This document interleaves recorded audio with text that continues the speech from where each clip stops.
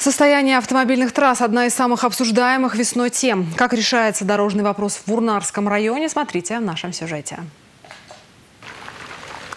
Дороги бывают разные. И финансирование, и уход за ними тоже разный. Но по большому счету это мало волнует жителей. Они хотят не так уж много, чтобы по этим дорогам можно было спокойно ездить.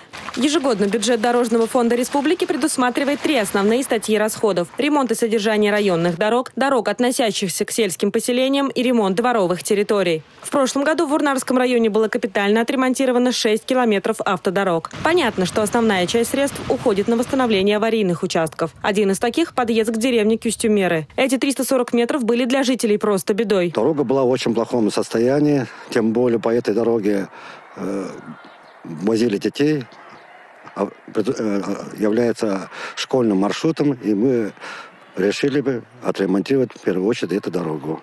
Новый асфальт вот это покрыли, очень удобно, и ну, ну мы местные жители, можно сказать, довольны.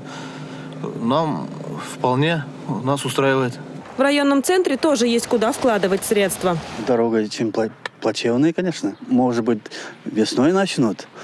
Надеемся на лучшее.